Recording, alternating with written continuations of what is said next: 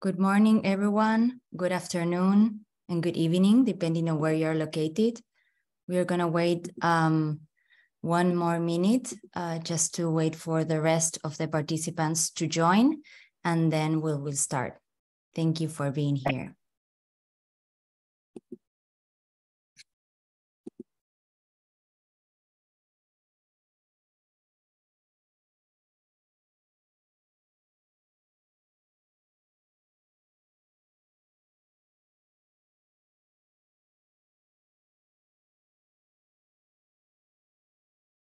People are joining. So we shall wait one more minute and then we'll start so we are on time.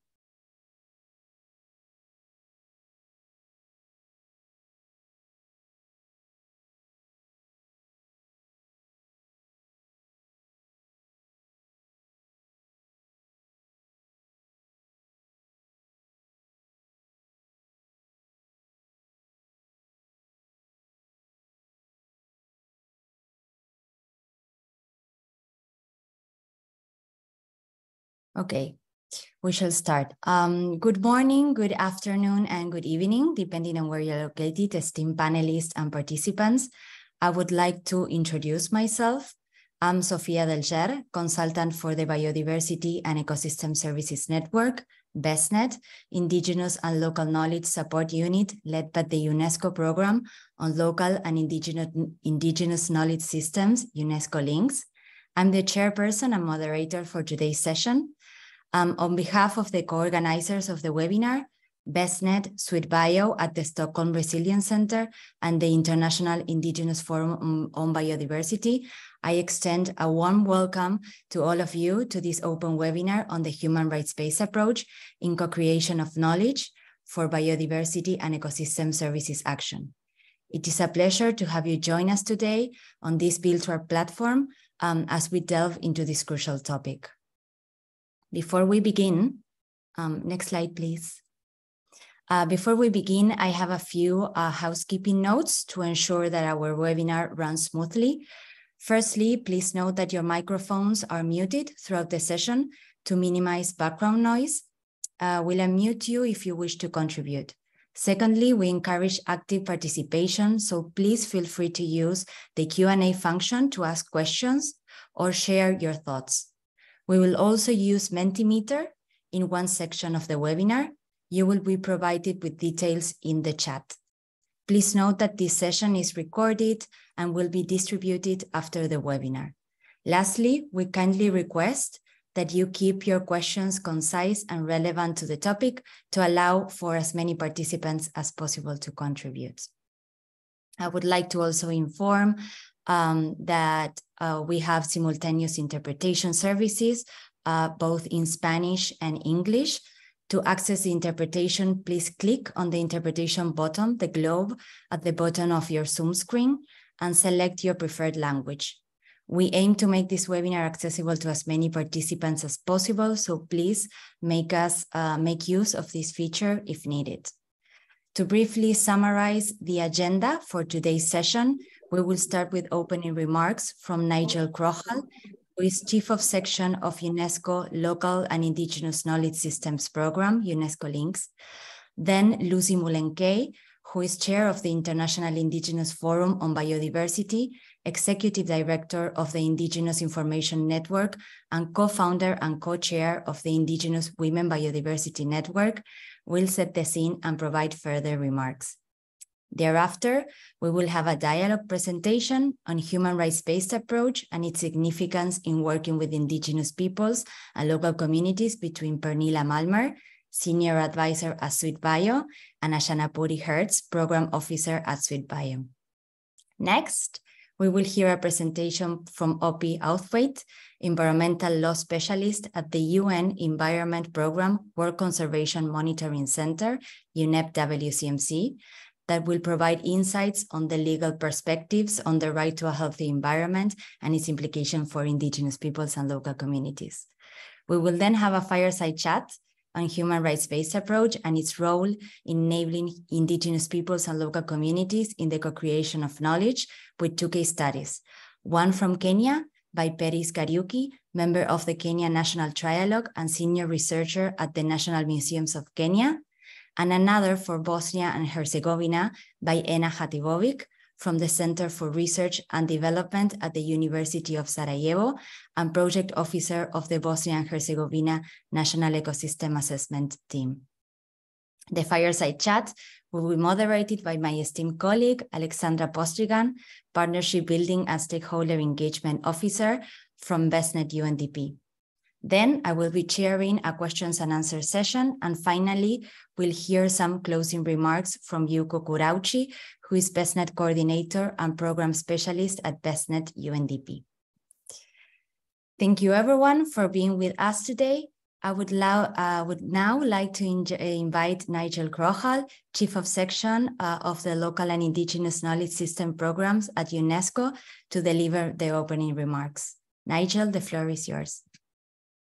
Sophia, thank you very much. And thank you everyone for joining us. Uh, there's been uh, exceptional interest in this webinar, and I think it speaks to the times we live in. And uh, we welcome you all, and uh, thank you for the engagement and, and enthusiasm about this. Uh, for a long time, Indigenous peoples and local communities have expressed their desire and will to be involved in the production of knowledge, to engage in national and international decision-making around the environment. And and uh, after a long period where that was difficult to achieve, it's now suddenly flourishing in different parts of the world. Uh, and there's some really great examples, and some of them we're going to touch on here. Um, this uh, event has been put together uh, as a coalition of a team that's working particularly on ecosystems and biodiversity assessments. And uh, it's co-sponsored by the BESNet initiative, the Biodiversity and Ecosystems Network, uh, which has three founding agencies working in it, UNDP, uh, uh, the uh, sorry, the UN Development Programme, uh, uh, the UNEP uh, World Conservation Monitoring Center in Cambridge, and UNESCO, as well as the partnership with the International Indigenous Peoples Forum on Biodiversity. and Lucy will be joining us from the IIFB team, as well as SwedBio, that has been an important partner and supporter in this process. SwedBio's role also includes being one of the donors in helping these uh, human rights-based approaches to uh, assessment and knowledge production along with the government of Germany. So we thank the donors who have been supporting these processes as well. A few opening remarks is uh, we live in exciting times with new technologies uh, where it is possible for many different people to share their knowledge, to uh, produce knowledge together, to try to take care of our planet uh, through a, a, broad spectrum of different uh, practices of custodianship, of relationships, of values about nature. Uh, but within that, there's also rights-based issues. one is the historic issues around the um, uh, in some cases, the loss of rights of communities, or we're in the process of regaining that, uh, as well as issues about intellectual property rights uh, when dealing with knowledge production, and especially in the new areas of uh, new technologies and uh, new types of knowledge productions for many of the communities that are involved in these processes, which may include you who are involved in the webinar, uh, it also involves collective knowledge, knowledge that has been built up over generations, sometimes many generations, about weather and climate, around ecosystems, around practices and ways of knowing. And how is that collectivity recognized in, um, in, in uh, property rights and other human rights uh, related initiatives? Uh, in the West Western tradition, uh, particularly the Euro European tradition, the focus was on the rights of the individual, the rights of the individual in relation to the state, the rights of the individual in relation to others. Whereas much of the planet, uh, probably most of the planet, uh, has conceptualizations that are more complex, that involve society, uh, relationships, and responsibilities. Uh, in the African regional uh, mechanism, for example, we talk about the African Charter on Human and people's rights. So the idea is that the person, the individual, is located in a larger uh, context. And when we look at rights-based approaches, it then uh, poses to us questions about the collectivities uh, that are holders and reproducers of knowledge and the beneficiaries.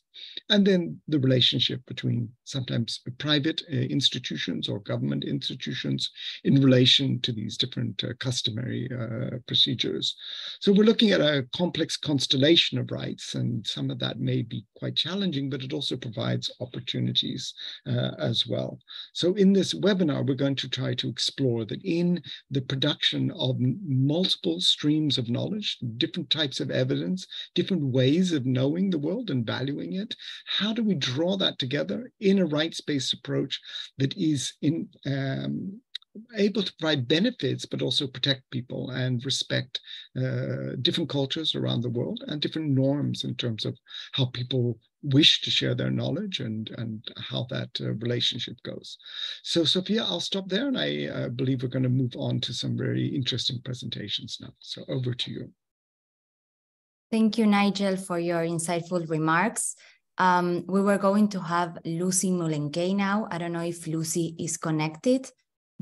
Um, Lucy um, is a co-chair of the International Indigenous Forum on Biodiversity and executive director of the Indigenous Information Network.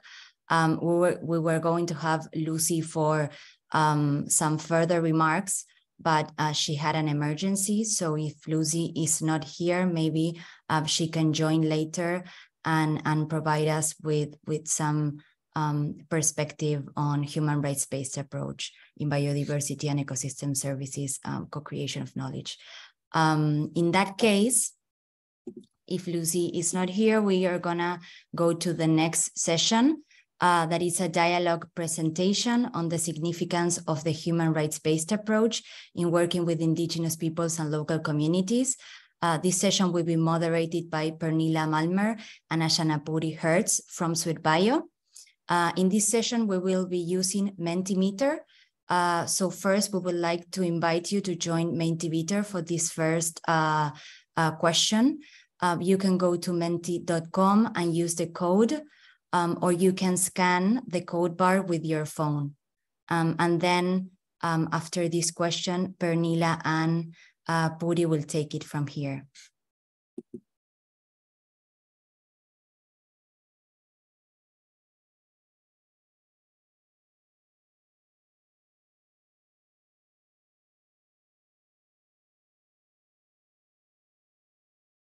Just to repeat again, to, to answer the question, you can go to menti.com and enter the code um, or use the, the barcode. Thank you.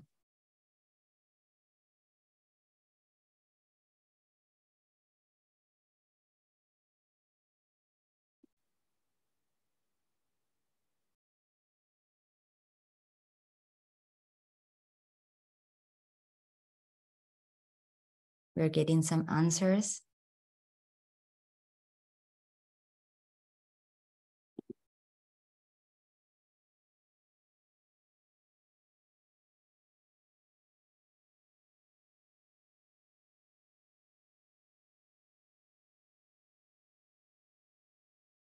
Great to see that people are are on the Menti replying and then I will pass it to, to Puri and Pernilla.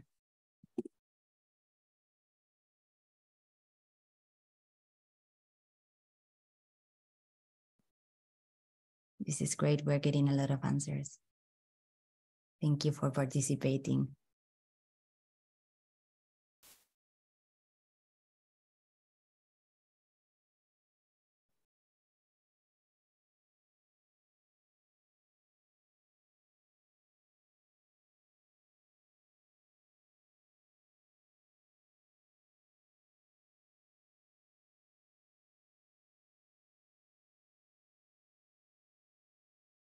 Hey, I, I, this is Pernilla. Happy to be with you. I think we are getting quite exciting answers here, and we can see that at the heart of everything is justice, equity, respect, but also with a lot of supporting functions about indigenous knowledge, ecosystem services, rights holders, democracy, I think what, what we see here is really the diversity of how we recognize people in the world and create exactly the base for a human rights-based approach in biodiversity.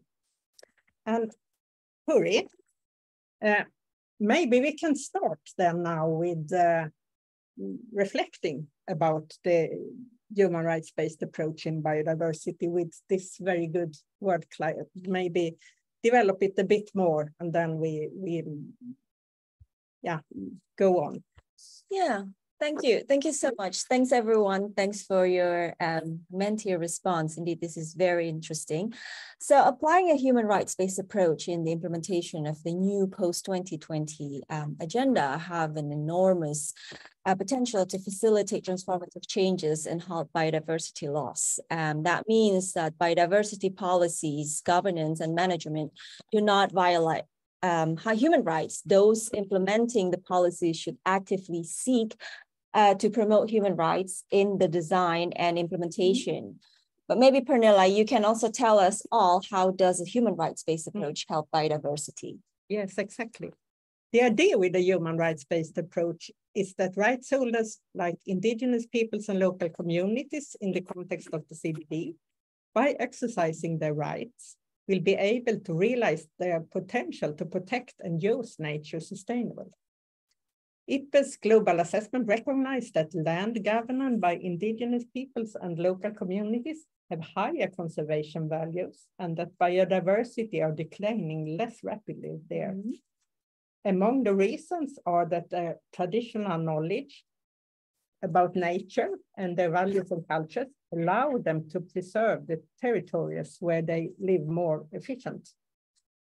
For that reason, the Kunming-Montreal Global Biodiversity Framework acknowledge the important contribution of indigenous peoples and local communities as custodians of biodiversity and as partners in conservation, restoration, and sustainable use. Mm -hmm. For upholding this potential, indigenous peoples and local community need to have rights to their lands and territories they also must have the right to meaningful and effective participation in decision making. This is what human rights-based approach means in the biodiversity context. Okay, so I see. So you mean that if indigenous peoples and local communities are respected and get the opportunity to feel safe about continuing mm. their customary sustainable use of their lands, it will be better protected. Mm. And if we recognize and respect their knowledge, learn from them, and take on board their proposals in our policy process as equally valid to science, um, the policy will much uh, will work much better then. Yes. Yes, exactly. And there are actually evidence from science that if you use the knowledge of holders of indigenous and local knowledge mm -hmm. in the design of policies and engage with them in the process, the policy will be much faster and better implemented. So Puri, how would this sound in human rights language? Um, okay, I'll try to explain it this way. Um, the, there are duty bearers and rights holders and the different responsibilities and obligations of each um, in the context of biodiversity, but also as in, in everything else, basically. So within the category of duty bearers, states hold specific duties under international law. However, non-state actors, like businesses, they also hold obligations and duties. The duties of state as well as non-state actors to respect human rights is an integral part of a human rights-based mm. approach. Mm. However, it is worth noting uh, that all duty bearers are also rights holders in their role as human being. Um, so we'll start with the state as duty bearers to promote, respect, protect, and fulfill human rights with regards to biodiversity. That means that they should secure access to information, um, in, and then secure participations of rights holders in the processes and access to justice, including the protection of environmental and human rights defenders. For companies as duty bearers, it means, for example, they should apply due diligence with when their activities concern biodiversity. Due diligence is a process in which they identify, prevent, mitigate, and account for the negative impacts of their activities. And now on the rights holder side, um, so these are all individuals or social groups that have particular entitlement in relation to specific duty bearers. Mm. All human beings, again, are rights holders under the Universal Declaration of Human Rights. Critical rights holders in the context of biodiversity are indigenous peoples and local community. Um, Particularly important for biodiversity is to recognize both individual and collective rights. And the latter, for example, collectively held customary rights to traditional lands, yeah. territories, and resources, and also traditional knowledge. Yeah. Exactly. And this is what also uh, Nigel was very clear about in, in, her present, in mm-hmm. his presentation. Yes. And now we have actually the second Mentimeter question. So now I uh, leave back to the BESNet team.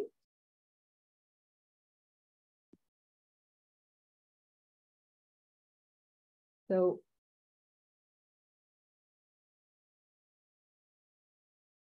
So this is very interesting. Uh, because it also is a bit about what are your engagement now in the biodiversity and um, processes, both in the ecosystem assessment processes, of course, but also if you are one of those working in uh, applying or trying to now start the implementation of the Globe, uh, Kunming-Montreal Global Biodiversity Framework designing the new national biodiversity uh, strategy and action plans, or maybe starting to think through how you, in your management plan for a protected area, or like finding ways of designing new processes that align then more with, well, the the um, uh, the, the context which have been agreed now in the Kunming-Montreal Global Biodiversity Framework to work with a human rights-based approach.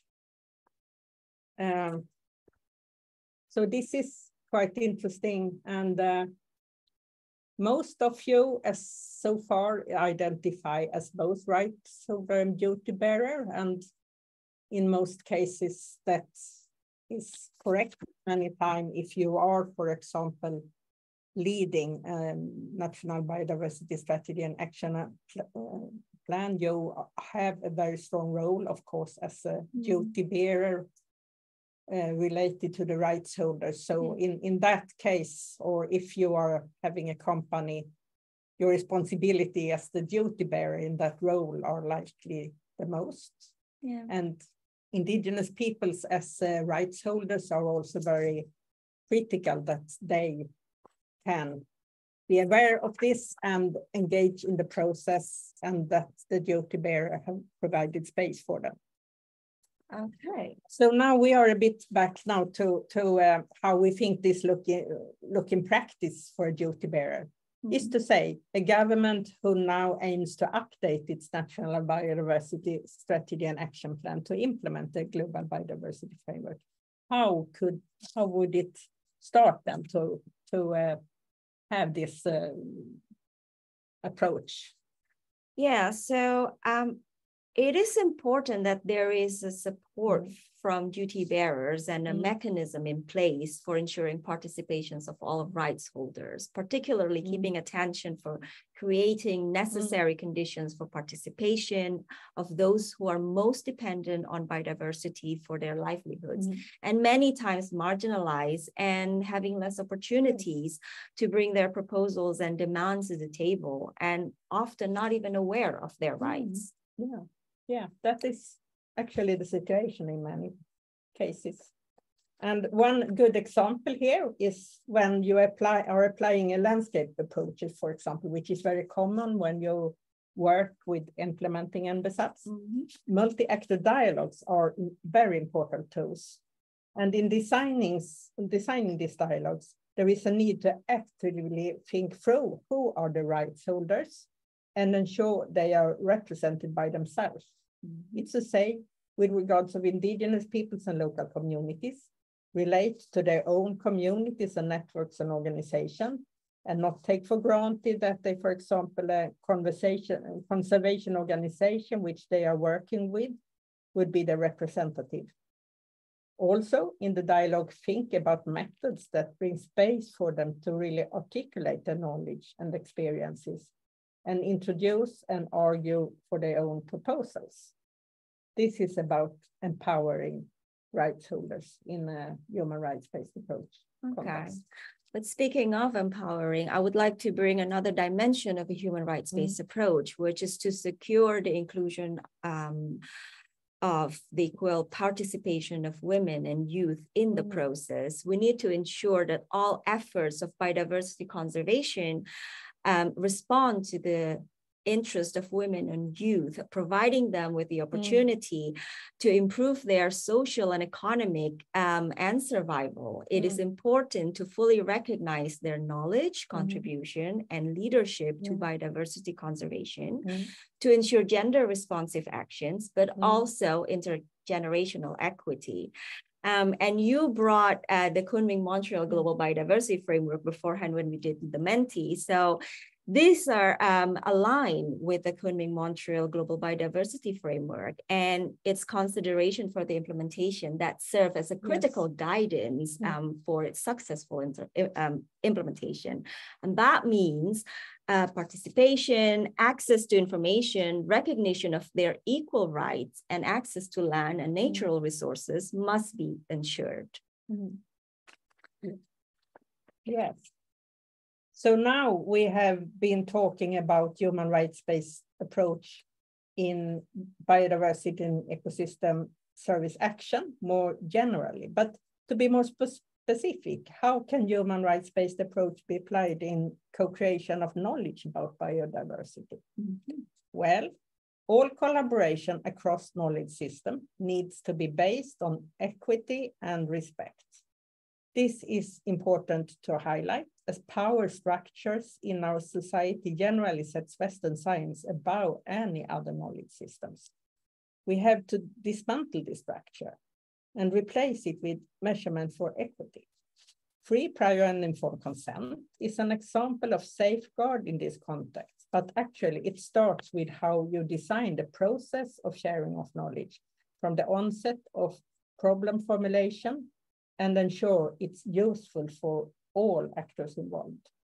Okay, well, that reminds um, me of how we actually at SwedBio apply this in our work and that the application of a human rights-based approach in our work reminds us to observe and understand power structures, supports the rights holders, as well as empower them to exert their rights um, related to their knowledge. Um, furthermore, it also serves to hold the duty bearers accountable yes. towards the rights holders and how knowledge is traveling when it's used after um, we share it.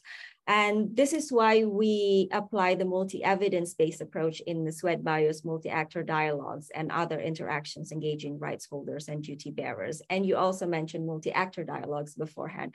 Could you elaborate these two connections, please? Mm. Yes, and expressed in human rights-based approach language, the multiple evidence-based method serves to elevate and highlight rights holders' knowledge and now uh, you can switch to the PowerPoint with the map.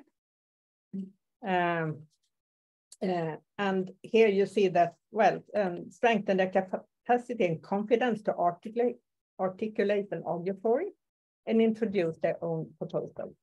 When traditional knowledge is mobilized and shared, it contributes to make the holders of traditional knowledge as well as the knowledge itself respected.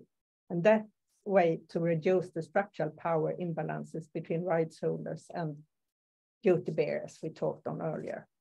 So here we have a model of the um, multiple evidence-based approach. And it, the, it emphasizes that it's important to promote and enable equal and transparent connection between knowledge systems and to empower communities in order to fulfill the potential of knowledge synergy for equitable ecosystem governance.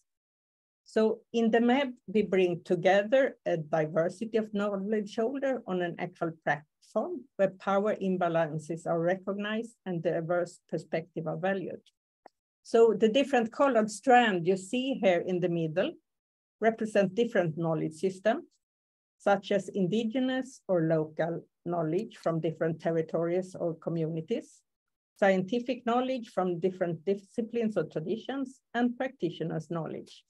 And each of these strands are equally valid and represent complementary perspectives contributing to an enriched picture of a particular issue illustrated in the center of the image. Mm -hmm. So you have like an integrity in each of these knowledge streams mm and its uh, science are equally valid to all the other knowledge streams. Mm uh, but then to make this work, like in this circle you see uh, here on the process, uh, you have really to have a careful attention to the process and how the actors and institution of re respective knowledge systems are included and involved. And this is critical to ensure that each knowledge contribution is fair, legitimate, and mobilized in a way that strengthens the knowledge holders and the knowledge system as such. The outcome would feed back into practice and decision making among actors. And in this, we have identified five tasks, which are critical for successful outcome based on equity. And you see them here in the circle. It's mobilize, translate, negotiate, synthesize, and apply. To mobilize means to articulate knowledge, to make it visible and possible to share with others. It is about empowering knowledge holders as rights holders. They have right to the knowledge. Mobilization give confidence to explain and argue for your knowledge lived experience and concern, which is needed to effectively take part in policymaking processes and co-creation of knowledge. Mm. The translation means interaction among knowledge holders from different knowledge systems to enable common understanding of the shared knowledge. Active participation on equal terms is needed to secure rights, equity, and respect in sharing, to build trust and enable mutual learning. This is critical for meaningful taking part also in policy processes and to understand one another's perspective. Uh, and then negotiate in this context is about discuss and jointly analyze the knowledge contribution and open and respectful way in, for example, a policy discussion or a creation of understanding of an ecosystem. There will be a common understanding, but also disagreements and contradictions. Mm -hmm. And here we have to ensure a safe space to, so that agreements as well as potential differences between actors are acknowledged and respected. And then next step here is to synthesize, and that is about shaping broadly accepted common knowledge basis for a diversity of knowledge system the inclusive, transparent, and respectful process at earlier stages that have recognized divergent perspectives on this agreement will pay off here.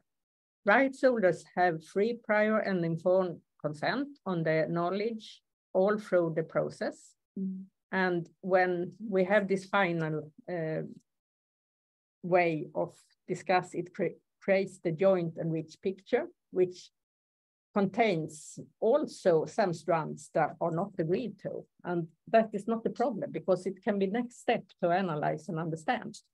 And finally, apply means to use the common knowledge basis we have brought together to make decisions and take actions or make further co-creation of knowledge. Plurality is essential to secure usefulness for all actors involved and that the MEB process is reinforcing and feeding back learning to rights holders from all involved knowledge system and that duty bearers can take advantage of this in a decision-making context for the benefit of all. Okay, so to my understanding, in that case, MEB approach was created for meeting and co-creation of knowledge mm -hmm. across knowledge systems.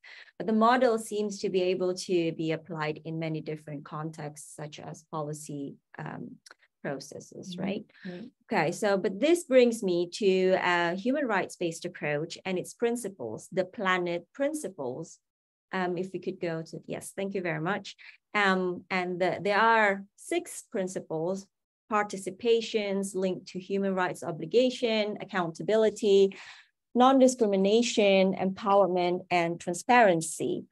And my understanding is that MEB approach allows inclusion of all mm. actors uh, without discrimination, ensuring active, free, and meaningful participation in contributing to policy and decision-making processes. Mm-hmm. And by allowing such spaces, states and other duty bearers are accountable for the observance of human rights, providing it is done in compliance with the standards enshrined in the International Human Rights Instrument.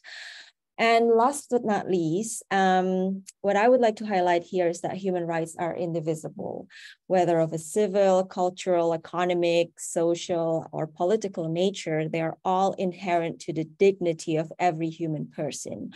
They all have equal status as rights and cannot be ranked. But we also need to understand and underline the interdependence and interrelatedness of human rights the realization of one right often depend in, a whole, in whole or in part uh, upon the realization of others. For instance, realization of the right to health may depend on the realization of the right to information, mm. which we have brought up earlier. Yes, thank you, Puri. So now here we are back where we started.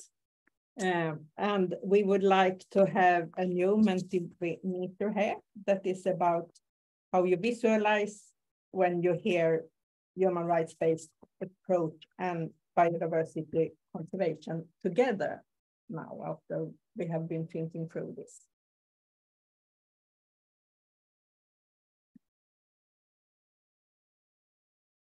So let's see if we get some uh, results. Here now we are still waiting, but we have some st starting inclusion.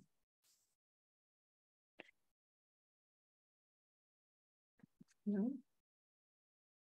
These are two, yeah.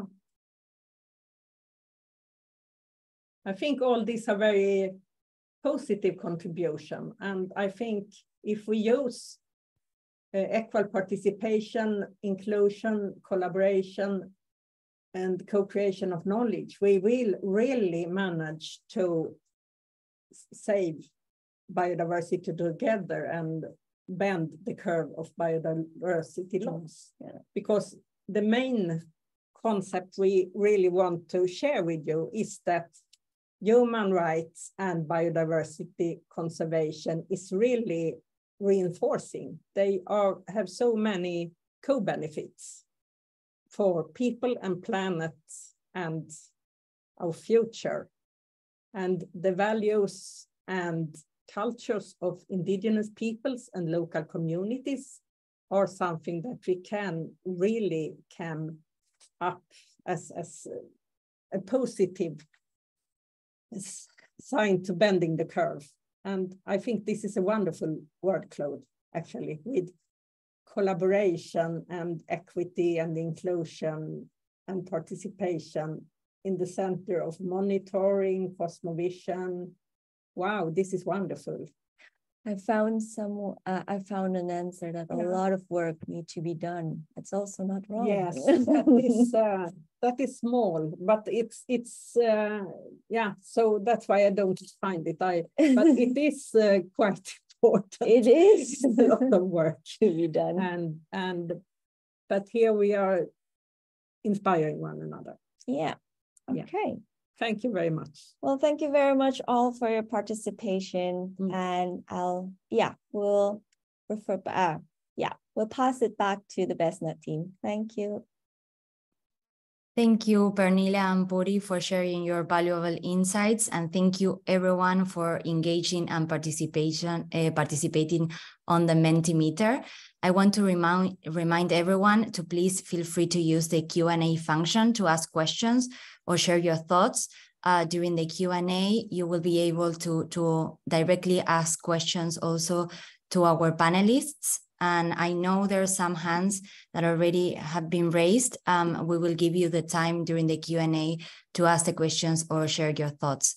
Now I invite um, Opi Outhwaite, an environmental law specialist at UNEP WCMC, to provide us with a presentation on the legal aspects and frameworks supporting a human rights-based approach.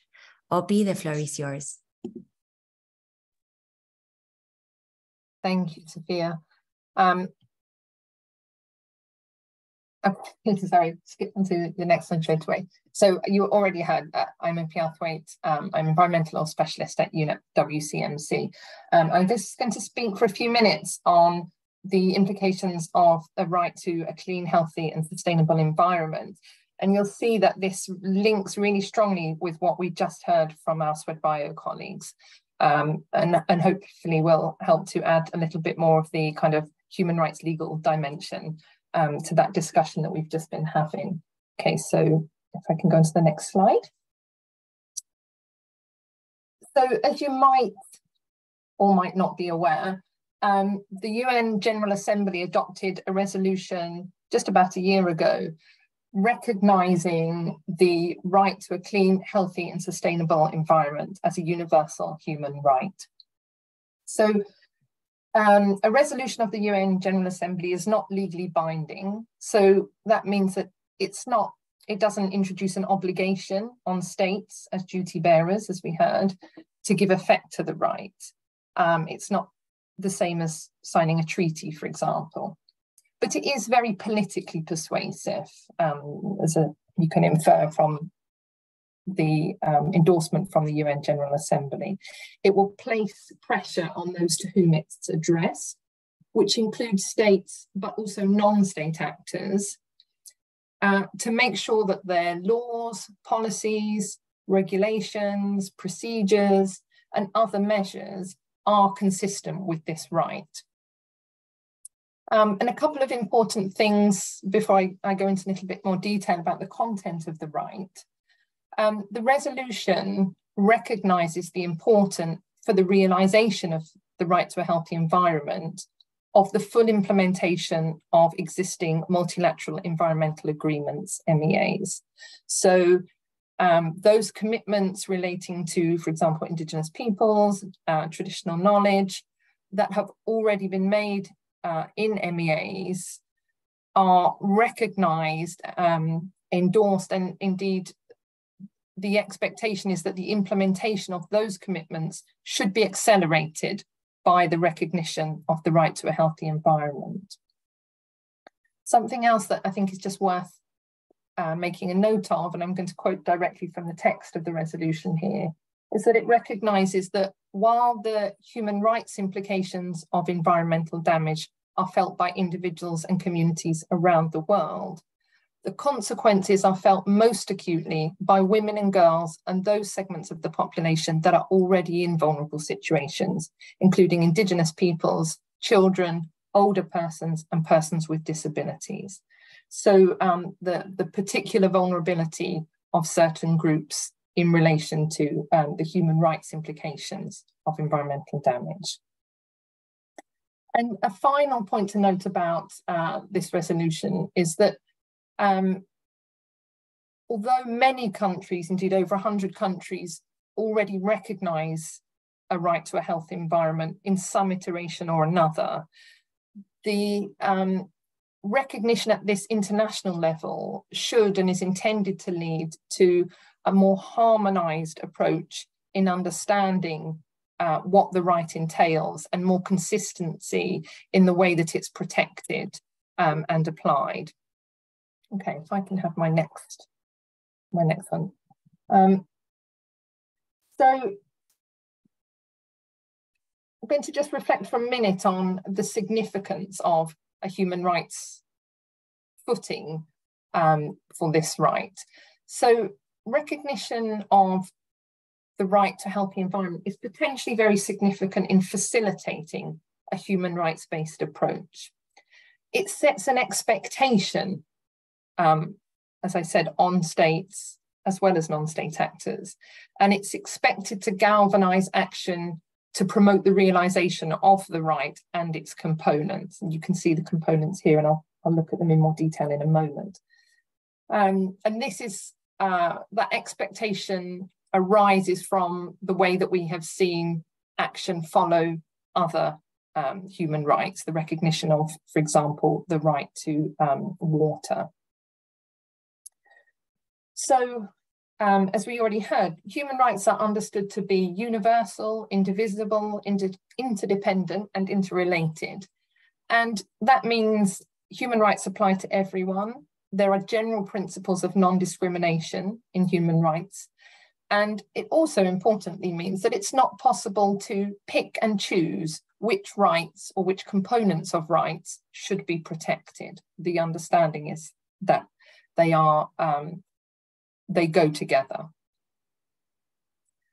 So recognition of the right to a healthy environment as a human right is expected to lead to better recognition and protection of the right and its components at national levels, um, and in turn help the implementation of multilateral environmental agreements. And in doing that is expected to help to address some of the gaps in coverage and implementation and protection that exist within the, the international framework as it is. One of the benefits of relying on human rights law is that human rights law, um, including at, at, national levels and also regional levels, is often uh, provides more established mechanisms for the enforcement of rights. So for individuals to enforce their rights, rights holders to enforce their rights as against duty bearers, to hold those duty bearers who have an obligation to respect and protect human rights to account. Um, and in many cases, compared with environmental law, for example, um, human rights law is more established in national law and provides better opportunities for access to justice. So what you can see on this diagram, hopefully you, you can see it, um, the text is a little bit small, is that um, the, the right to a healthy environment is understood to involve several components. And these are grouped generally as substantive rights and procedural rights. So under substantive rights, we can see the right to a non-toxic environment, clean air, a safe climate, healthy ecosystems and biodiversity, safe and sufficient water, and healthy and sustainable food. Those are rights that exist in and of themselves. On the other side of this uh, circle, we can see the procedural rights. Procedural rights are those rights that need to be in place in order that substantive rights can be enjoyed. So here we can see the right to seek, receive, and impart information, the right to participate in environmental decision making, and the right to effective justice and remedy. Um, so we can see is for the purposes of our discussion today that the role of Indigenous knowledge can be necessary at multiple points in relation to this right. The types of knowledge and ways of knowing that we're discussing can be crucial to the realization of substantive rights. You know, thinking, for instance, about the right to biodiversity or water or food. Those, those kinds of knowledge um, can be essential, as we've just heard, to understanding um, how we better realize those rights. But meaningful participation is itself also a requirement um, of the right to a healthy environment through the procedural components that we see um, participation in environmental decision making, the right to impart information. It's not a passive right in which rights holders only receive information, but also there is a right to impart information. so, in this sense, the right to a healthy environment provides a platform for the inclusion of Indigenous members of um, Indigenous people communities and local communities and their knowledge. Um, and the right to effective justice and access to remedy as well is especially important for protecting environmental human rights defenders, who we know frequently are Indigenous peoples. Okay, if I can have my next slide.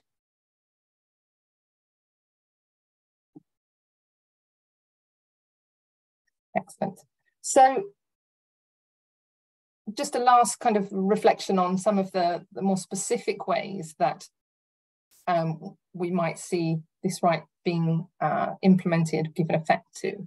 So the resolution calls upon states, international organisations, business enterprises and other relevant stakeholders to scale up efforts to ensure a clean, healthy and sustainable environment for all. So if we think firstly about the kinds of actions that states might need to take, this might include things like explicitly recognising the right to a clean, healthy and sustainable environment within their national laws or within their constitution. As I said, that does exist in, in many countries. We would expect to see it uh, develop further. It might include the adoption of new substantive environmental protection laws and policies relating to biodiversity and healthy ecosystems, pollution and toxins, sustainable consumption, carbon emissions, strengthening liability for environmental harm, and um, also thinking about land use rights um, and, and protection and recognition of traditional lands, territories, and use of natural resources. It might include implementing procedural measures like improving access to environmental information, strengthening opportunities for public participation, including the ways in which different types of knowledge and ways of knowing are incorporated into decision making, and improving access to justice, for example, thinking about accountability mechanisms for holding duty bearers to account. Um, and national policies, and that's all policies, economic, social, and environmental, should reflect respect for this right, as is the case for other human rights. Um, so the right to a healthy environment sets an expectation, as I said, of meaningful participation. Um, and that's relevant when we think of some of the familiar actions and strategies um, that we might be used to dealing with or aware of, like updating NBSAPs, undertaking national ecosystem assessment. Um, that these are entry points potentially for Indigenous knowledge. Um, and just lastly, we heard already about the human rights responsibilities of non-state actors. So the right to a healthy environment extends here also. Um, this might be things like, for example, ensuring meaningful participation in local or in-country activities for businesses, um, international business operations, for example, or where those types of entities are discharging their due diligence obligations, as we see increasingly um, a requirement on businesses. And for citizens and environmental and human rights campaigners um, and environmental defenders, recognition of the right to healthy environment at this level, recognition by the UN General Assembly, provides an influential tool that can be invoked when demanding action or accountability from government. So although it's not legally binding, um, it is influential. Um, and when we look at, uh, for example, groups who are bringing biodiversity and climate litigation, they will be looking to invoke this right, respect for this right um, in those types of actions. Um, and I think that takes me to my final slide. Just my contact information, should you wish to follow up. Um, but hopefully see that begins a conversation about how it can be useful to um, think about the ways in which a right to a healthy environment can promote meaningful participation and inclusion of Indigenous knowledge and supports um, and facilitates the, a human rights-based approach to biodiversity. Um, and then I will hand back to our BESNet colleagues. Thank you, Opi, for that informative presentation. Um, we have great questions coming up, so I invite the speakers to address the questions in writing, and then we will also try to address as much questions as we can in the Q&A session. Uh, now I would like to transition into our fireside chat session. uh, which will explore the role of a human rights-based approach in enabling indigenous peoples and local communities in the co-creation of knowledge. Our moderator for this session is Alexandra Postrigan, Partnership Building and Stakeholder Engagement Officer at BESNet UNDP. Alexandra, please take it from please take it away. Thank you very much, Sophia, and thank you very much to you all. Thank you for all the participation and um, exciting questions that you shared so far. I would like to welcome um, Ena Hatibovic, who is the project lead of the National Ecosystem Assessment Team from Bosnia and Herzegovina. Thank you very much, Anna, for being here. Uh, we were expecting to be joined by one other um, by one other colleague, Paris Kariuki, but I understand she's not with us. So Anna, it will be just a fireside conversation between me and you. Um, and I'm really honored to be uh, in the dialogue with you. Um, it is such a fantastic work, and also the questions that uh, we've been receiving uh, point into how the concepts and how that scene that the speakers at the beginning of this webinar set, how this can be translated into reality and how this is applied on uh, on the ground on the country level. So this one, that's why I think it is fundamental to hear from you. And first of all, for uh, our general audience, those who were never uh, with, introduced to BESNet before or to the national ecosystem assessments, could you please tell us a little bit what, uh, what is your work in Bosnia and Herzegovina on the national ecosystem assessment and what is your role? Over to you, Anna. Thank you. Thank you so much. Thank you for having me here. I have, I, I'm really honored uh, on behalf of, of, of, my country to present the work that we have done um, in the in the last uh, three years. Um, I am Anna. I'm from Bosnia and Herzegovina, uh, which is located in on, on the Balkans in Europe. I'm the project officer of our na national ecosystem assessment. Actually, I'm currently on our uh, project advisory board meeting. And we are uh, almost at the finish of our national ecosystem assessment. For those um, who are listening to this webinar who do not know so much about uh, national ecosystem assessment, is uh, I will uh, try to be as brief as possible. Basically, an ecosystem assessment is a collection of scientific and local knowledge about biodiversity or nature. In general, NCPs, which are nature contributions to people, which is everything that nature gives to, to, to, to, to human beings. Uh, uh, what are the direct and indirect of biodiversity? Future scenarios and the governance, the state of the governance at national or regional or whatever level in order to give a basis for an informed decision making about nature.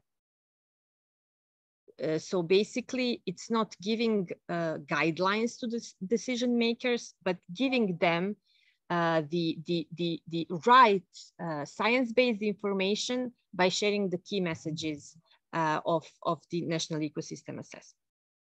For Bosnia and Herzegovina, uh, our uh, uh, national ecosystem assessment, the acronym is NEA, has six chapters.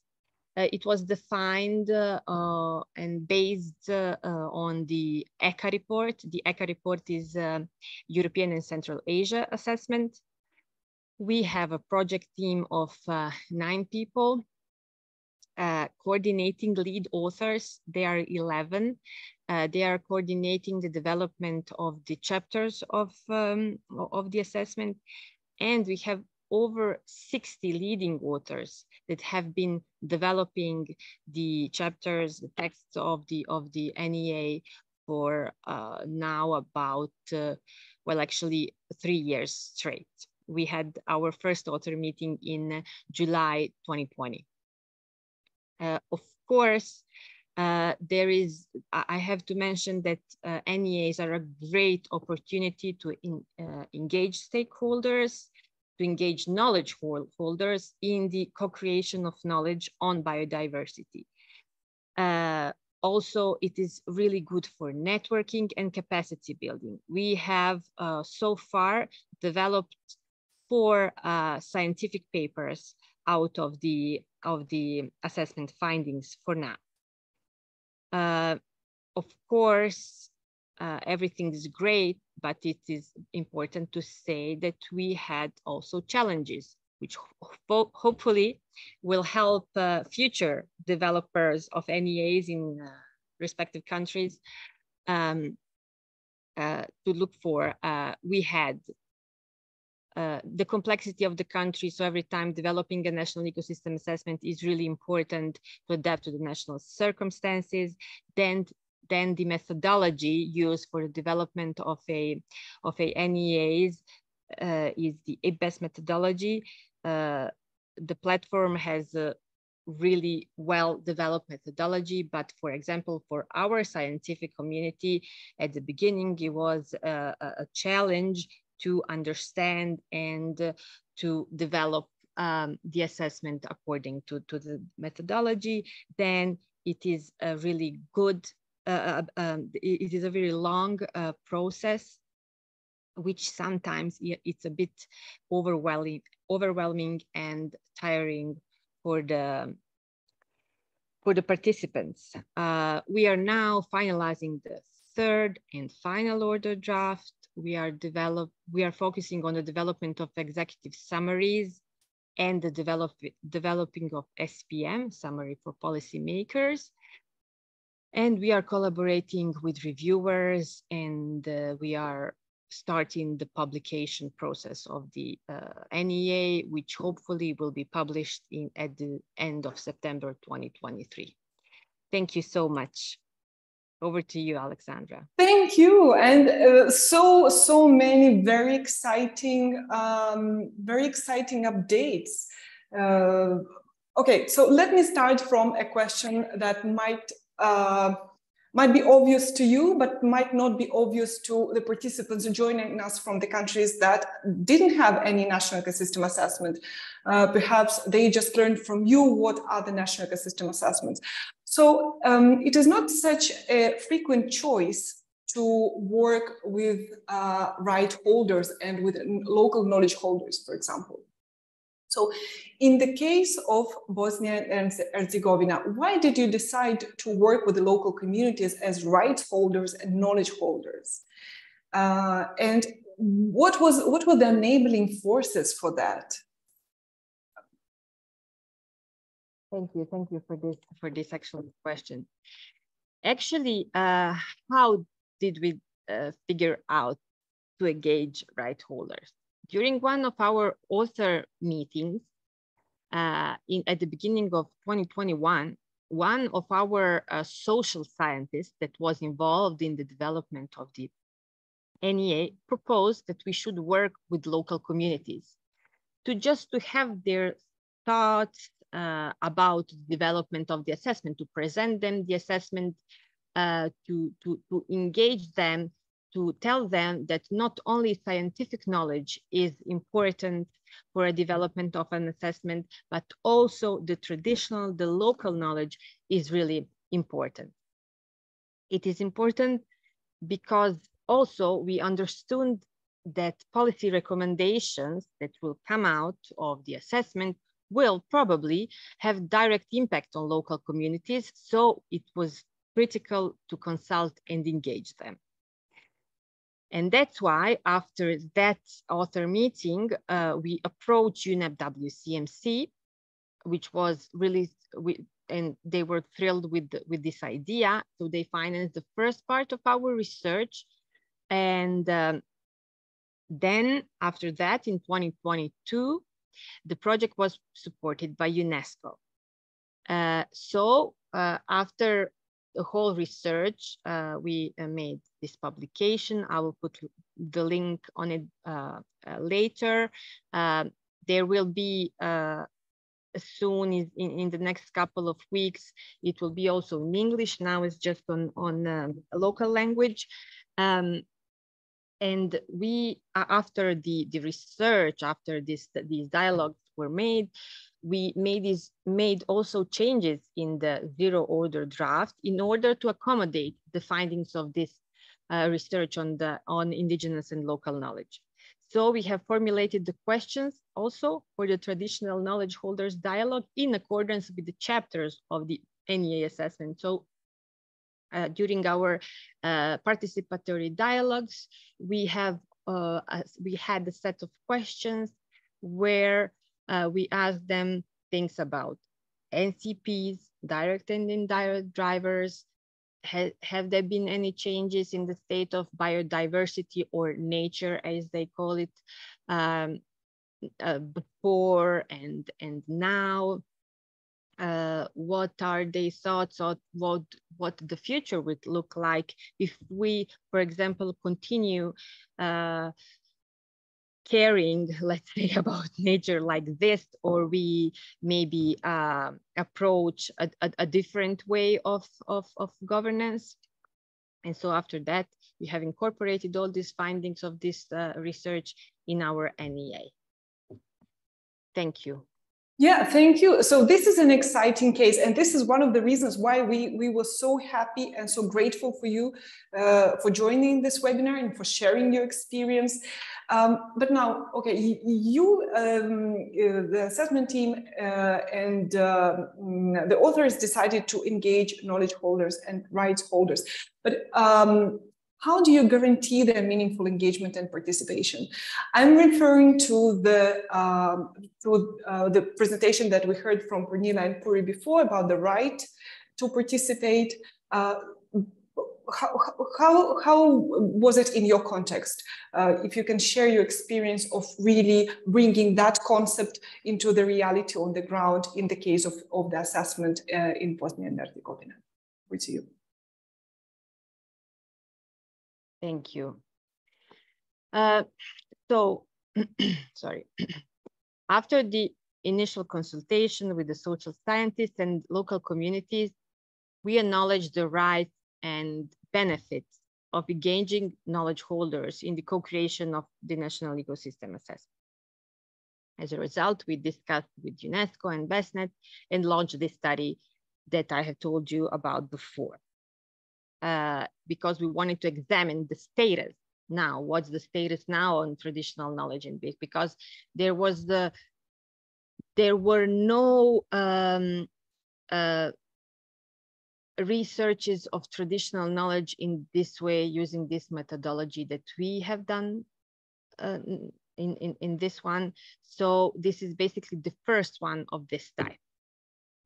And during this two-year research, we have engaged over 200 local and traditional knowledge holders through participatory methods, which were walking interviews, community dialogues, and written questionnaires.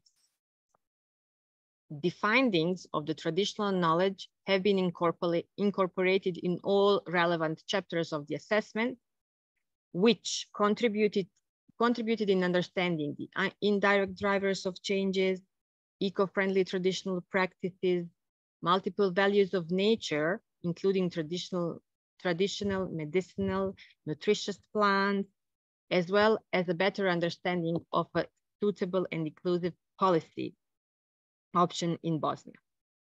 Uh, actually, we have a, a, a really interesting uh, case study where in uh, actually in our country, uh, all, uh, all uh, let's say, green projects are sold to the local communities, to the common public as good.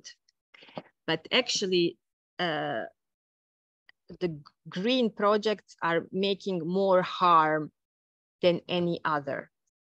For example, uh, we had a case at the south of Bosnia and Herzegovina on the border with Montenegro, where there was this uh, case of a green project that actually does not respect nor nature nor the rights of local communities, what it is about.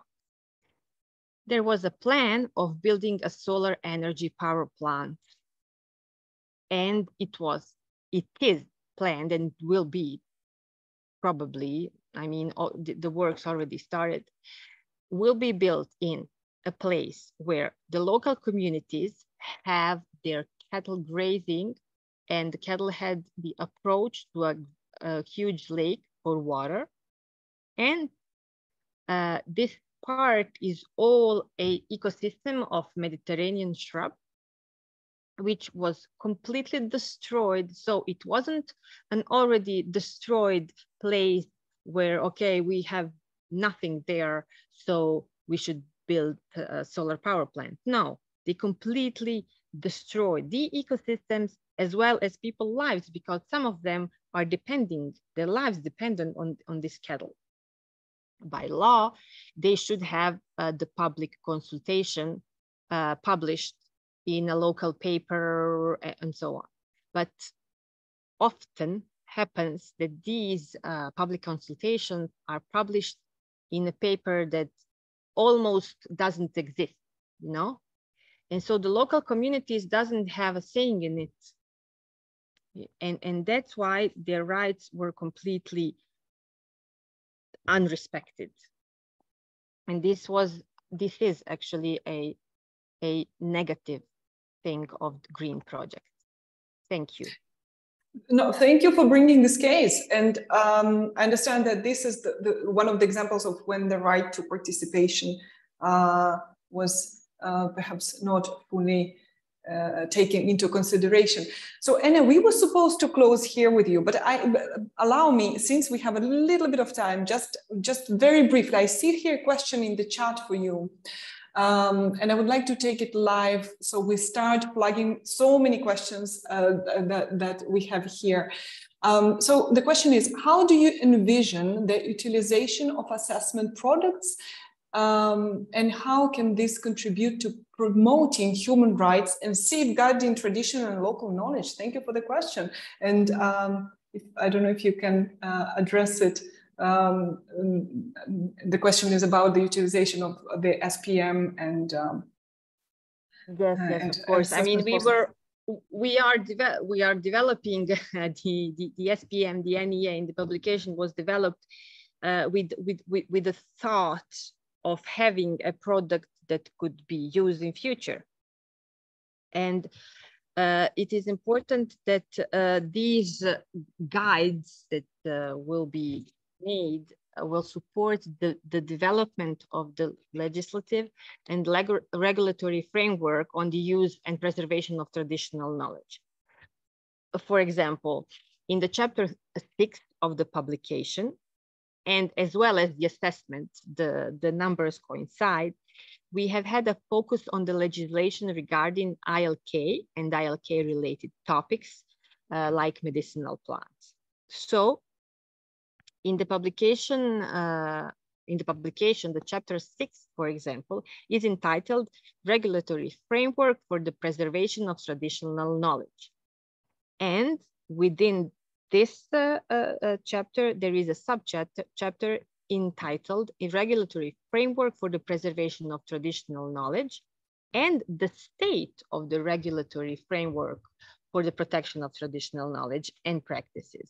So we have made an overview of the state and will have some key messages related of maybe what should be changed in relation of, of, of ILK and with examples from other maybe best practices for other countries, how could we do things better?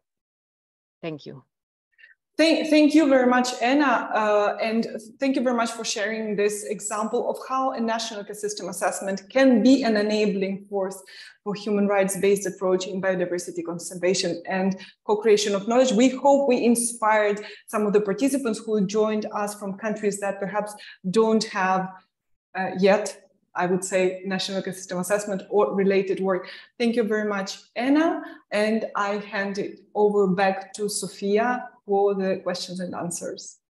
Over. Thank you, Alex. Thank you for facilitating uh, that insightful fireside chat. And thank you, Anna, for sharing how Bosnia and Herzegovina worked with knowledge holders on the National Ecosystem Assessment. Now it's time to open the floor to questions from participants, and I also invite the speakers to unmute and participate. But first, I wanted to, to acknowledge there are people all over the world from South Africa, from Nepal, from Mauritius, from Pakistan, from Cameroon, uh, from Northeast India, from Kenya, uh, from Brazil, uh, from Bangladesh. Um, so I wanted to, to, from Uganda. So I wanted to Philippines, uh, Nigeria. So I wanted to acknowledge that.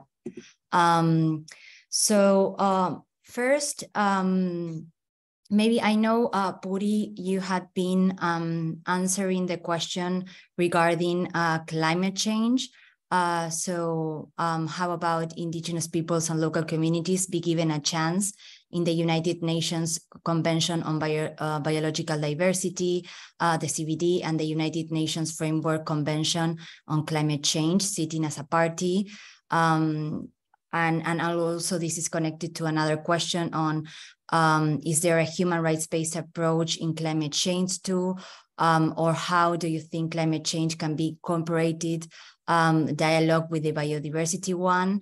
Um, so I don't know, Puri, if you wanna uh, if you already replied this on the chat or if you want to um, say something um, and address it to, to everyone, um, that would be great, either Pernilla or, or Puri.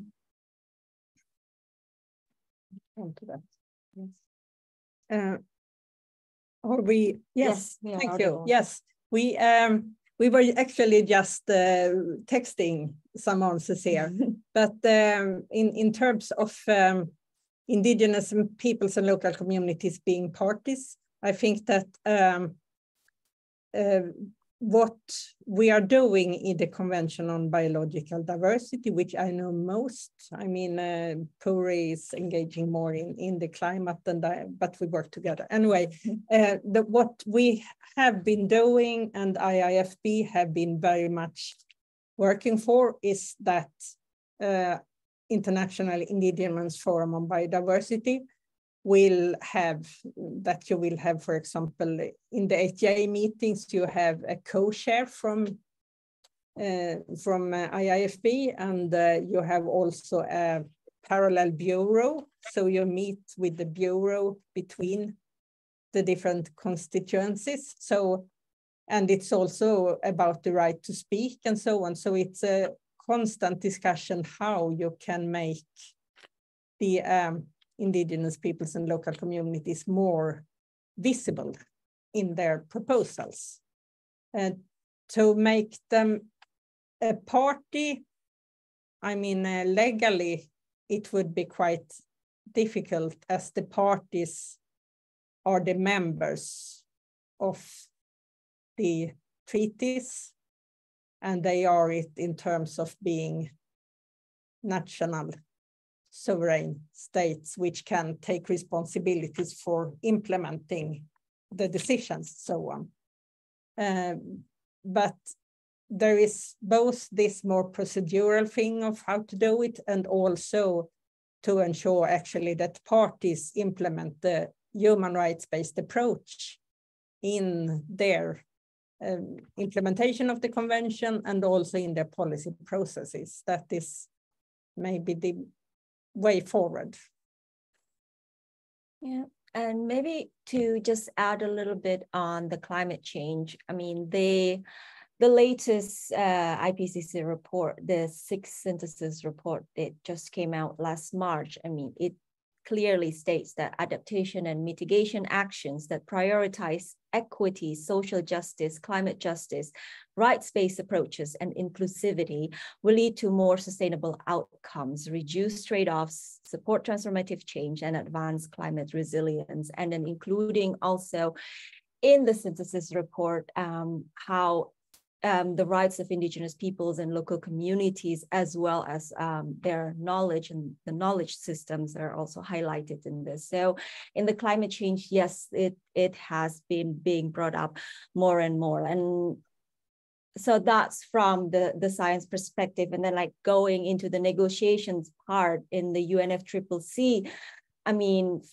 there's also just like in the in the CBD, there's the the the indigenous peoples caucus and in the in the in the UNFCCC it's the same that there's also the LCIP the local community um, and indigenous peoples caucus there. Um, and then um, there's also like this regular, just coming out from Bonn, for example, this regular um, meeting on advancing the uh, IPLC's participation in the UNFCCC process, where we go through different agenda and how um, the participations of indigenous peoples um, through LCIP or the IPOs actually um, taking into consideration and how it is being implemented. And then also for parties, there's a regular um, event like um, on the, um, what they called actually as a, as a training. Oh, yeah, yeah, as a training to, um,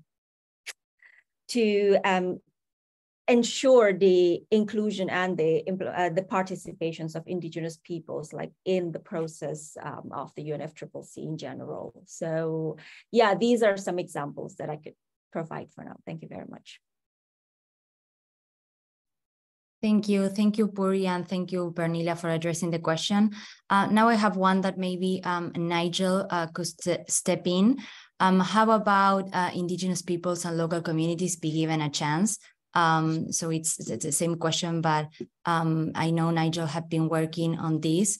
And um, the question also involves uh, indigenous peoples host a large biodiversity and are important conservationists, uh, which is true. So, so maybe Nigel has um, some insights on, on the questions regarding the UNCBD and the UNFCCC. Okay, let me thank you for the opportunity. Thank you for posing the question. So I think as some of you realize, the um, parties to the Convention on Biological Diversity, uh, first of all, they built in uh, very important components back in 1992 when the CBD was first drafted by the parties. And in fact, that, that whole process, which took place in Rio de Janeiro involved a lot of uh, dialogue and consultation with indigenous peoples who were very well represented, as well as other parts of society uh, that were there, uh, farmers, uh, youth, uh, women's groups. Um, and so the actual text of the CBD speaks uh, explicitly around traditional knowledge systems and the recognition, recognition of rights related to that. So the CBD already had that built into its, into its architecture, into its design.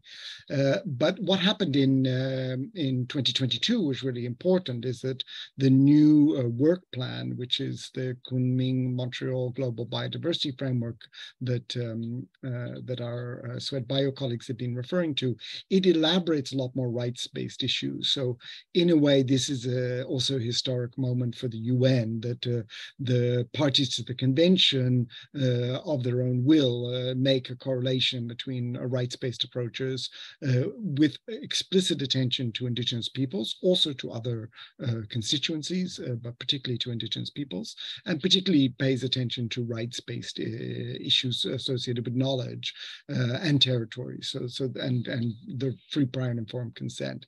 So it's worth reading not only the main text of the um, Global Biodiversity Framework, but also the uh, addendum that deals with the nature culture uh, um, elements, including the joint program of work on uh, the links between bio biological and, and, cultural diversity, which uh, still need to be elaborated. So the, so the rights-based framework is there. So all of those create a lot of opportunities and uh, rights are implemented fundamentally at, at, at, the level where people live. So um, it's the right to do something or the right not to have something done to you, uh, which is kind of the, the operational part. Uh, so whether indigenous people can be involved in the process, conventions are UN instruments or treaties uh, that are designed by the member states of the United Nations system. So they represent each sovereign government in the world. If they choose to be involved in a convention.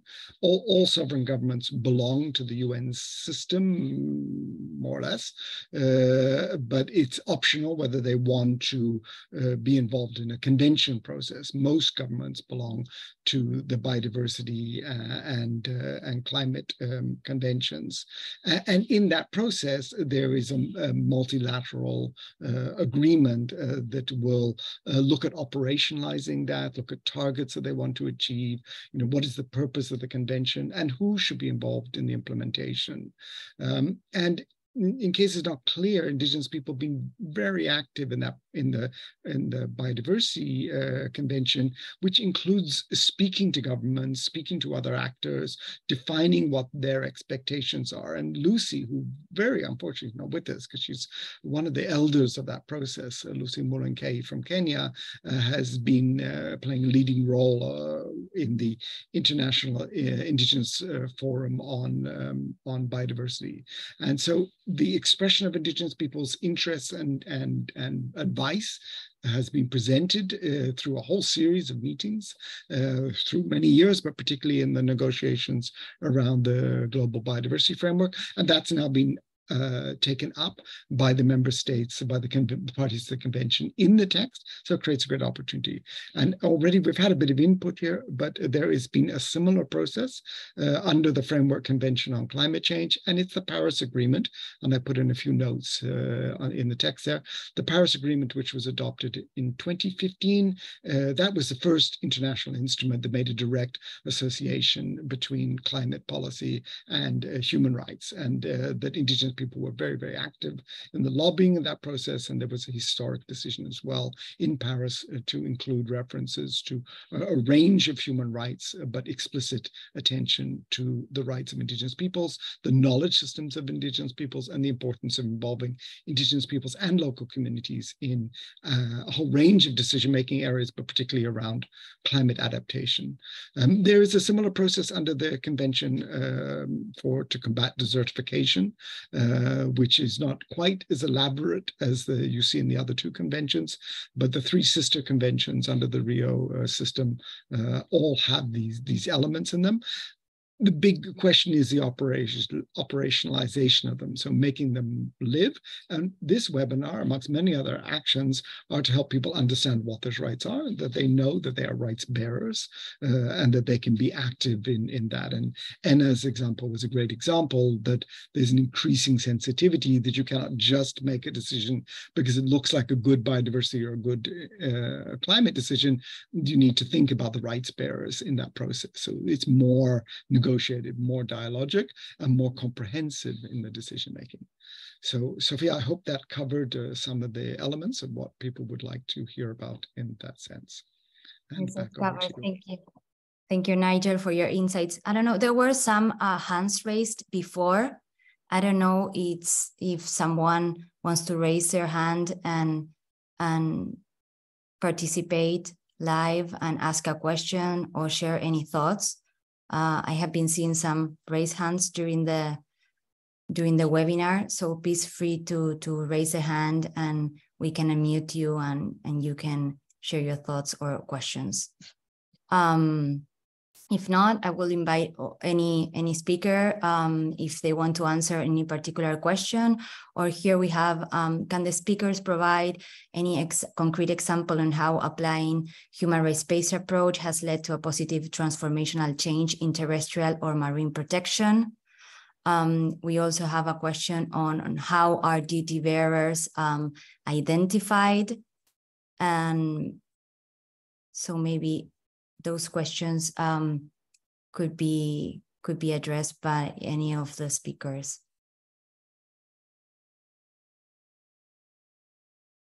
Ah, I have two raised hands, so maybe first. I can raise the hand on. Where are we raising the hands? Did we raise it now? Okay, now I have raised hand. Ah, Puri and Pernilla. Yes, please. The floor is yours. Um, yes, uh, well, examples of uh, where we have had transformational change by in inviting um, uh, indigenous peoples and local communities as rights holders to actively engage. I can take uh, some Swedish uh, example, for example, the uh, World Heritage Sites of Laponia, which was um, um, national park before, but in uh, a few decades ago, it was an agreement to make it co-governed by the indigenous uh, Sami people.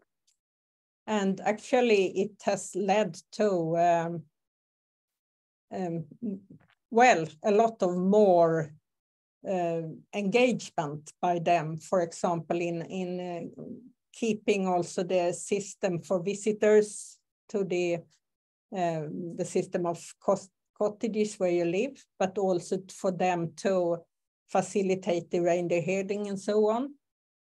Um, and we have also another example of a national park at the, the Koster Islands. It's a marine park, which was uh, inaugurated uh, 15 years ago, and it was co-created, it's co-governed, and has meant that the marine biodiversity is uh, increasing and people feel well. So, so it's like two very nearby examples.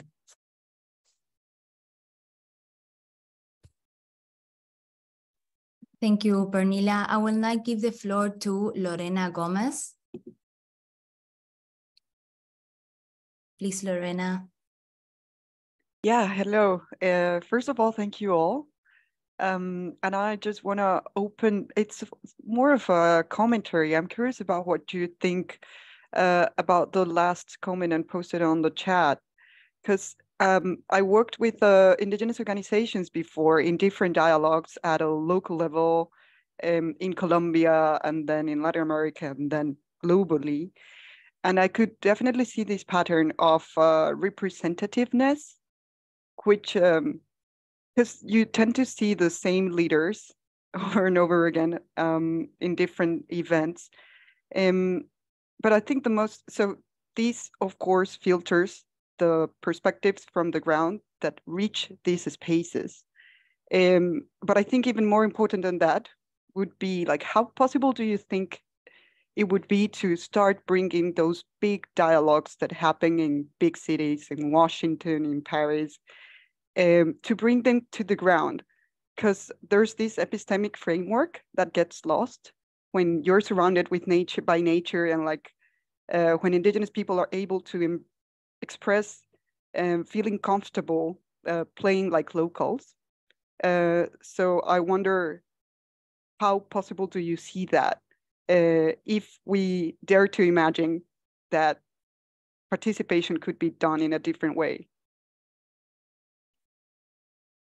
Thank you. Thank you, Lorena. And I think Puri or Pernilla, um, they have their hands raised. Maybe they want to reply to Lorena and then yes. Nigel. Yes, I, I, I was so very happy about this question because this is actually exactly what we do in our multiple evidence-based dialogue, that we uh, are moving the processes out in the communities and discuss and have dialogues on biodiversity and co-creation of knowledge where people live and hold the knowledge, which actually immediately make this equity across knowledge system so visible. And of course, you can do the same with policy processes. And many uh, indigenous peoples and local community organization, when they have trying to negotiate with governments about protected areas, one of the most efficient tool, if you can get the decision makers out in the area and show them how you take care of biodiversity, which will make it much easier to solve the problem. So I think this is definitely possible and something we really should encourage and have as an example of implementation of a human rights-based approach to create equity across knowledge system in policy and co-creation of knowledge. Thank you. Thank you, Pernilla and, and Puri. I don't know, Nigel, if you wanted to um, Yes, just a quick word to say. I, I, mean, I think it's the scale that you're talking about, and uh, I too, uh, you know, for many years work in these forums, and I can pretty much predict which ethnic groups I'm going to see when I go into a meeting.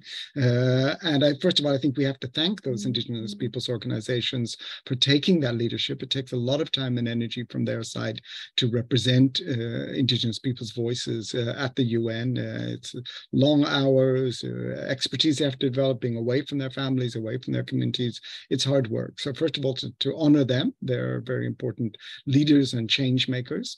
Uh, many of the indigenous people I work with uh, when living in Africa do not speak English or French or even, you know, sometimes not at all the national language. Uh, and it's a very different process to work with those communities. And uh, I, I, one day I heard uh, a senior indigenous leader say, some people don't know about the permanent forum. Well, my experience was some people didn't know that the UN even existed. So uh, I think trying to get it down to the ground is part of the process. And what is very interesting around BESNet uh, is it's an opportunity to do that. So uh, in a number of countries now, we have got, we're working with national entities to be able to have discussions with communities right at grassroots level around their knowledge within this rights-based framework. And that is what makes BESNet such an important opportunity. Um, at the same time, the idea is to really work towards equity. And I can assure you inside the UN system, uh, uh, I, I help co-chair the interagency support group on indigenous peoples for the whole of the UN. We try very much to concentrate on the idea of diversity. So making sure all regions are represented a principle that indigenous peoples have upheld, but also to try to uh, involve a, diversity of knowledge holders, so people from ocean systems, desert systems, rainforest systems. There's so much diversity in the indigenous world. Um, and so how, how to uh, recognize and value that and facilitate and make it easier for people to participate.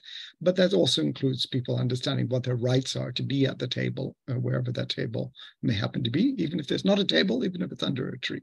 So I think there's a lot of sensitivity to that. There's also the reality of how to make that uh, work in practice. And part of the answer is to scale it to different levels to, to make things accessible. Thanks, and back over to you. Thank you. Thank you, Nigel. And I see um, uh, Chao has um, the, the hand raised, but we don't have any more time. I'm sorry, we will address um, Chao, please write your questions or your thoughts, and we will address these in an interactive um, article after the webinar.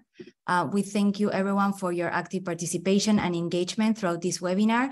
As we approach the conclusion, um, I would like to invite Yuko uh, Kurauchi, BESNet Coordinator and Program Specialist at BESNet UNDP, to deliver the closing remarks. Yuko, please share your concluding thoughts. Thank you. Thank you, Sophia. Um, and I'd like to start my uh, remark by thanking everybody once again for joining us today for this enlightening and provoking webinar. Uh, and on behalf of the organizing team, um, I would like to express my heartfelt gratitude to all the uh, esteemed um, the speakers who shared their valuable insights and expertise throughout the webinar. Um, your diverse perspectives have provided us with a comprehensive understanding of the importance of human rights uh, for biodiversity conservation. And as we conclude this session, I would like to emphasize that the BESNet, we remains committed to fostering um, inclusive and human rights-based approach uh, throughout the project components that we are working on and contributing to uh, creating an environment where knowledge is not only scientifically sound, but also um, ethically and socially just. After this event, we will send a message in due course to all the participants with the link to the webinar recording and a dedicated article outlining the key webinar highlights, including the responses to the questions not fully addressed um, at this moment due to the uh, time constraints, and we are sorry about this.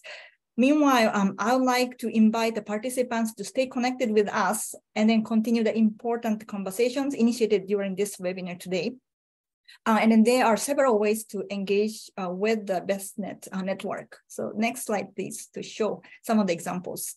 So firstly, uh, please visit our website at www.besnet.world, where you can access a wealth of resources, um, including publications, case studies, um, and then other relevant materials related to biodiversity and ecosystem services, as well as our work uh, related to indigenous uh, peoples. And then by becoming a registered user of the website, you can also provide your resources to the library as well. Also, uh, please consider subscribing to our monthly newsletter and stay up to date with the latest development of our project and our partners. And then other events, opportunities, which may be available uh, in the biodiversity field, including the future webinars and other exciting initiatives coming up. Or uh, please connect with us um, on social media. You can follow us on Twitter, Facebook, and then LinkedIn, and then join our Vibrant online community where you can engage in discussions and share your own experience and perspectives.